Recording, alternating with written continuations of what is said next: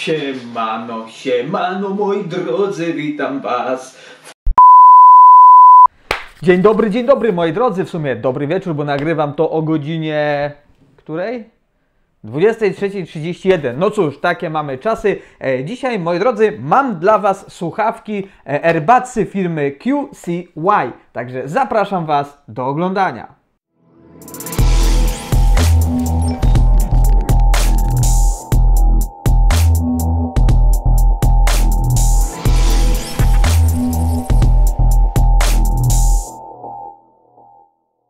No i oczywiście, jak zawsze, moi drodzy, szybki unboxing. Zobaczymy, co znajduje się w opakowaniu, jak te słuchawki wyglądają oraz jak działają. No tutaj to mamy standardowo gumki wymienne. Możemy sobie, jakbyśmy tam mieli dopasować do uszu, e, różne tam założyć. Tutaj mamy... O, folika się podarła.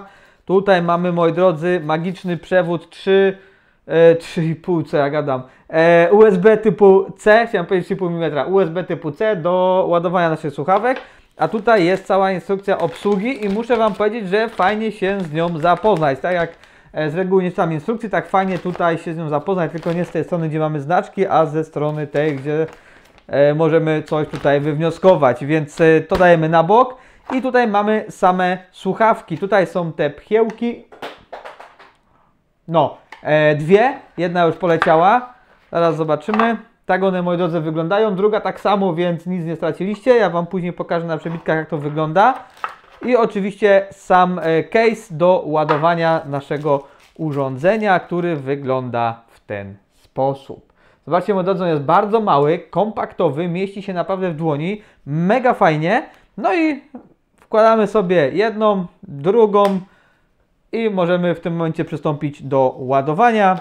A tutaj mamy przewód USB typu C, którym naładujemy case'a, a przy okazji też nasze e, AirBudsy. E, no dobra moi drodzy, więc e, unboxing za nami, czas e, troszeczkę opowiedzieć na ich temat, no i oczywiście przystąpić do testów tego urządzenia.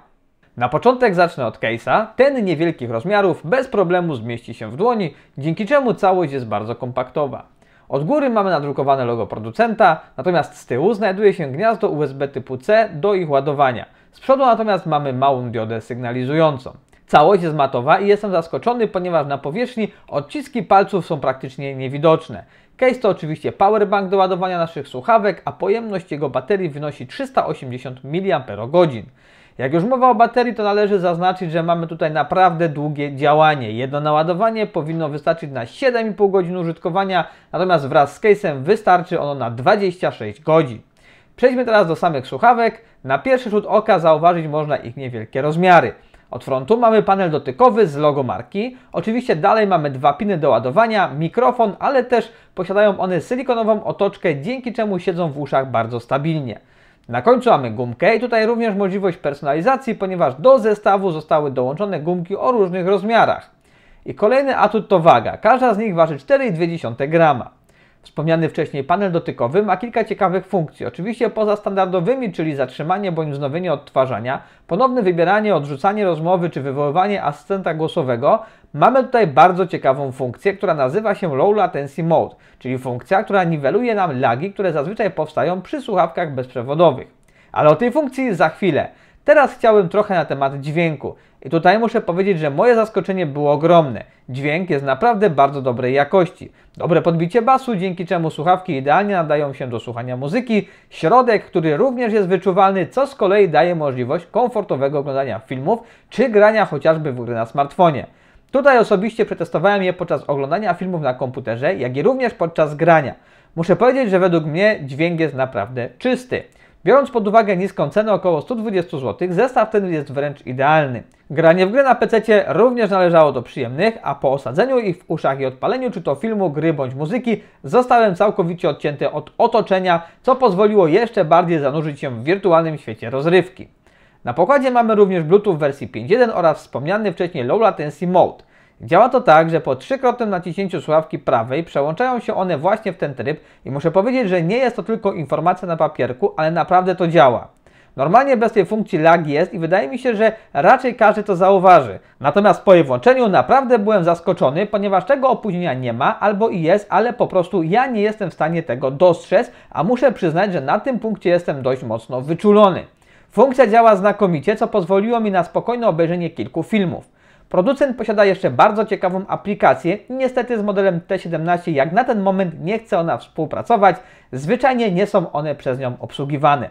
Czas teraz na trochę informacji na temat rozmów. Ponieważ to jest też e, ciekawa funkcja, rozmawiałem z kilkoma osobami i w sumie każdy z nich twierdził, że słychać mnie naprawdę dobrze. Ale aby to Wam jakoś przedstawić, postanowiłem dołączyć próbkę rozmowy telefonicznej. No w tym momencie mamy próbkę rozmowy telefonicznej. Postanowiłem nagrać taką krótką rozmowę. Oczywiście siedzę tutaj u siebie w studio, nagrywamy to przy takich normalnych warunkach, nie ma żadnego szumu, wiatru, jestem po prostu E, w pomieszczeniu. Sam jestem ciekaw, jak to wypadnie, jaka będzie jakość tego dźwięku. E, tutaj wiele osób, z którymi rozmawiałem, każdy twierdził, że słychać mnie naprawdę dobrze i nikt nie miał co do rozmowy zastrzeżeń. Również ja moich rozmówców słyszałem bardzo dobrze. No i moi drodzy, pokrótce tak prezentują się słuchaweczki, e, zestaw słuchawkowy, erbacy, czy jak zwał, tak zwał, pchełki douszne E, firmy QCY. E, generalnie muszę Wam powiedzieć, że jestem mega zaskoczony ich funkcjonalnością e, typu właśnie tutaj potrójne tapnięcie prawej słuchawki powoduje opóźnienie, niweluje tego laga. Jak to się nazywa fachowo, tutaj gdzieś mam instrukcję jeszcze, zaraz Wam powiem. To się coś przykleiło. Fachowo się to o, nazywa Eee, skip, skip, voice as, nie, gdzie to było? Low latency mode, o właśnie, low latency mode, moi drodzy, to jest bardzo fajna funkcja, działa to świetnie, naprawdę. Muszę Wam powiedzieć, że tutaj podczas e, oglądania filmów, naprawdę tutaj po tapnięciu trzykrotnym, zero praktycznie lagów. No może jakieś są, nie wiem, ja akurat nie, nie wyłapałem, a na tym punkcie jestem wyczulony. Nie wyłapałem żadnych lagów, więc e, bardzo fajna opcja, podobało mi się to super. E, dodatkowo zagrałem w kilka gier, posłuchałem muzyki na smartfonie, posłuchałem muzyki na komputerze i muszę Wam powiedzieć, że naprawdę kopa to ma niezłego, jeżeli chodzi o bas. E, tutaj dźwięk jest naprawdę bardzo przyjemny.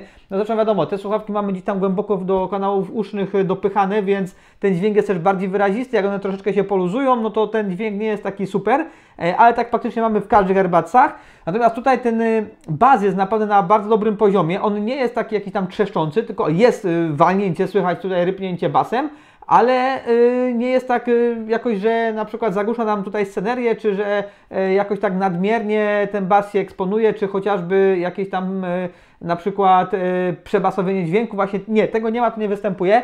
Środka też, też tutaj trochę jest, natomiast nie jest tego aż za, za dużo. Ja przywykłem do słuchawek gamingowych, gdzie tam tego środka jest więcej, tu jest mniej, więc są to idealne słuchawki, czy idealne. Są to słuchawki po prostu do słuchania muzyki. E, owszem, w gry możemy pograć, ja grałem na PC, grałem na smartfonie. Moi drodzy, powiem Wam, że za tam 100 parę złotych, e, dokładną cenę z e, tutaj tym, tymi słuchawkami umieszczę w opisie. Za tą kwotę wydaje mi się naprawdę rewelacja. Warto rozważyć taką propozycję. Dajcie znać oczywiście w komentarzu, czy Wam się podobało, czy nie. Na dzisiaj to by było wszystko i widzimy się w kolejnym odcinku. Trzymajcie się, do zobaczenia.